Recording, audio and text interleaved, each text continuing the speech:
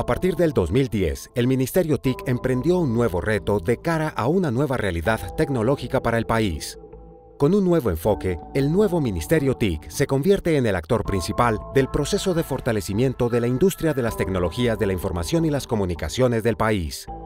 Dos años después, en el 2012, una nueva normatividad modifica la estructura del ministerio y un decreto permite ajustar la planta del personal.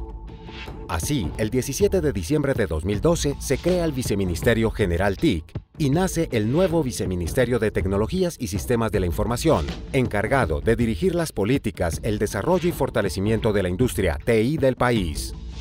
Esta reestructuración incluye la transformación del programa Gobierno en línea, que ya funciona como una dirección que hace parte del nuevo Viceministerio de TI. Igualmente, el programa Compartel se convierte en la Dirección de Conectividad y Vive Digital Regional es ahora la Dirección de Promoción de TIC. Con estos cambios, el Ministerio TIC gestiona los 64 proyectos que hacen parte de Vive Digital.